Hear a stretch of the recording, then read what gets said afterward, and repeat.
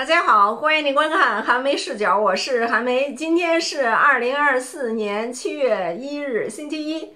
今天是七月一日啊，是中国共产党的生日啊。那么我们大家都知道哈，中国共产党呢是一九二一年七月一日成立的，那到现在呢是整整一百零三年了，一百零三年的生日啊，百年大党啊。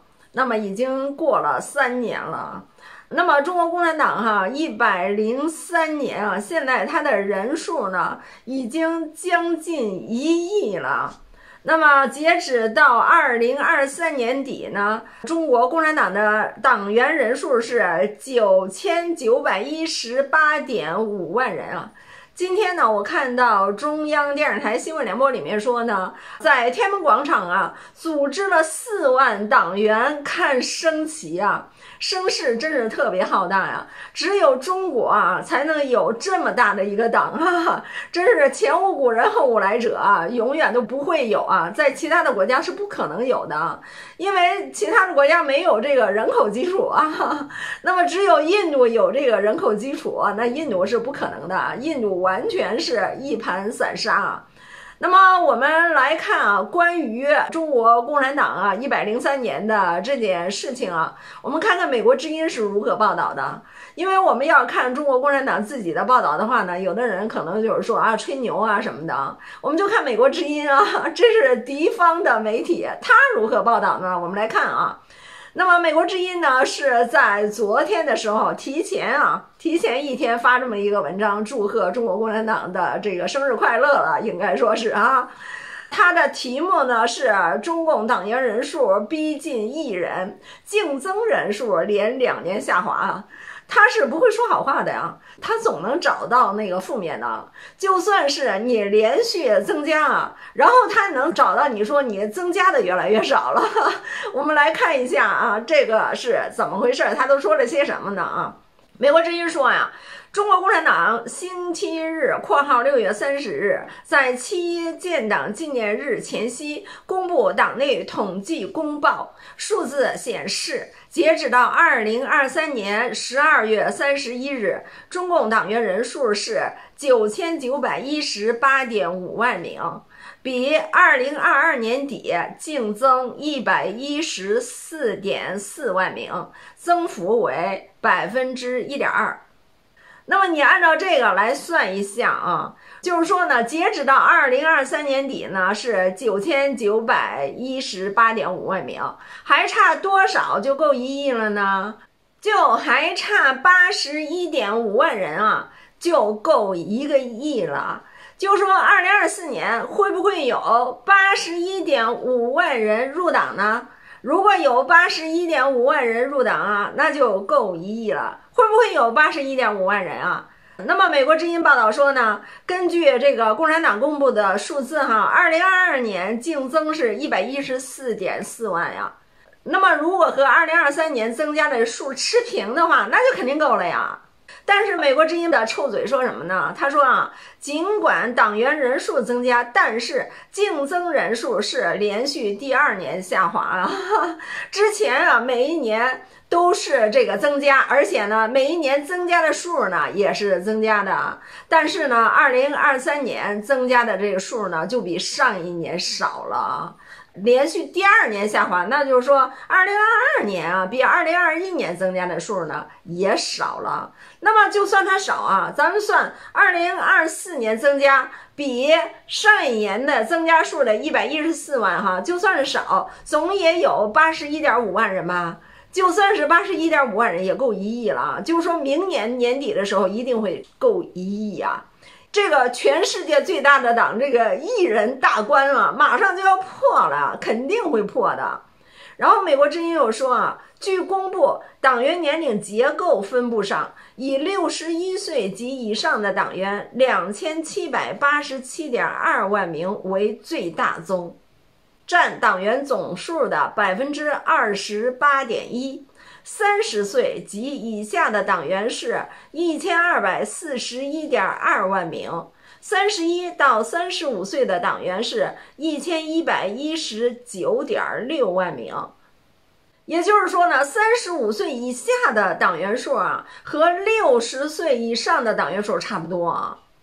然后呢，三十六到四十岁的党员呢是一千零八十六点四万名啊。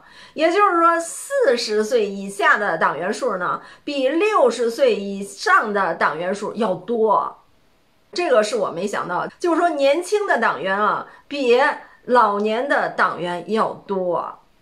然后中间的呢是四十一岁到四十五岁的党员九百四十五点九万名，四十六到五十岁的党员是九百零七点一万名，五十一岁到五十五岁的党员是九百四十点五万名，五十六岁到六十岁的党员呢是八百九十点七万名啊。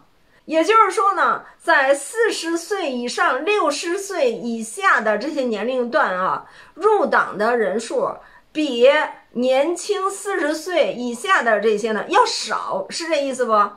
是这样的啊。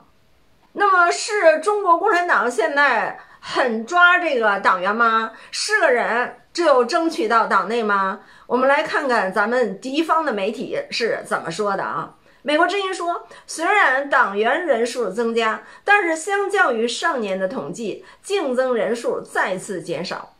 根据历年的中共党内统计公报，中共党员竞争人数在2012年到2017年间逐年下滑，竞争党员人数从252万五千名骤降到11万七千名。2018年。之后逐年增加，到二零二一年中共建党百年时暴增到三百四十三万四千名。根据中共去年六月公布的截止二零二二年底时的统计，净增党员人数下滑至一百三十二万九千名。当时是二零一八年以来中共党员净增人数首次比上年下滑。今年公布的统计数字则下滑至一百一十四点四万名。新华社报道称，中共党员总数增量平稳，队伍结构持续优化。在入党情况方面，中共指出，截止到二零二三年底，中国全国入党申请人两千零九十八万名，入党积极分子一千零五十四点七万名。说今年是中共建党一百零三周年。自一九二一年成立以来，中国共产党已经从一小群马克思主义知识分子成长为仅次于印度人民党的世界第二大政党。哦，原来这样啊！印度的人民党还更多人呀。好，那我们接着来看啊，中共党员人数在胡锦涛时代年平均增长百分之二点四。使党员人数在十年内从六千八百二十万人增到八千五百一十万人。不过，这一趋势在中国国家主席习近平的第一个五年任期内发生逆转，逐年下降，增长率平均只有百分之一。哎，这个呢，就是说印度的这个印度人民党啊，比中国共产党人数还要多。但是印度怎么就没有显出来它的凝聚力呢？怎么还是一盘散沙呢？就是他们的这个党员的先锋模范作用肯定是不行，对不对？他们遇到灾难的时候呢，能说党员先上吗？是不是？然后美国之音啊就开始分析了啊，说分析认为，在习近平执政前，党员人数激增。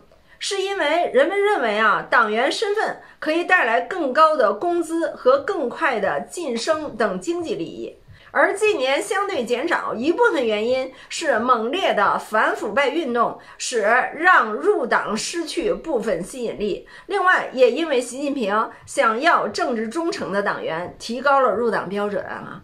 他的这句话，我觉得是对习近平以及中国共产党的一个高度的表彰。谢谢美国之音，尊重现实。说实话，看来共产党啊，尤其是习近平领导以来的共产党啊，并不是说哈弯到篮子里就是菜啊，并不是为了说扩大党的这个规模啊、群体的人数呢，而随便的发展党员啊，而是呢把入党的标准啊立得很高，然后呢那些腐败分子啊也坚决的清除出党，这样呢还让那些想加入党员以后呢想谋取私利的那些人呢就止步了。印度的那个所谓人民党能做到这个吗？啊，美国的什么民主党啊、共和党啊，能做到这个吗？啊，光是为了捞好处吧，说假话。然后呢，台湾的绿营啊，更别提了，对不对？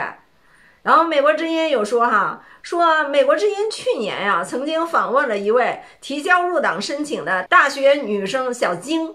谈及入党动机，小晶毫不讳言，是为了拿传票的功利考量。小晶直言：“我不思考，总有别人就会占住这个便利。所以呢，现在大家入党也不是因为热爱，就是很功利，哈哈，你知道吗？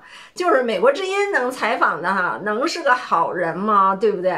像这样的人啊，他入不了党，这是很正常的啊。”如果说漏网啊，让他入党了，他也得逞不了啊。就算是得逞啊，早晚呢也是监狱里面的干活。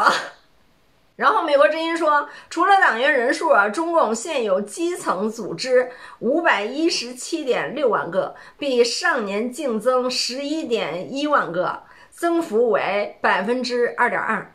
统计指出，中国九千一百二十五个城市街道。两万九千六百二十个乡镇，十一万九千四百三十七个社区，四十八万八千九百五十九个行政村已经建立党组织，覆盖率均超过百分之九十九点九。这就是呢，当年毛主席啊创建的那个支部建在连上的那个指导方针。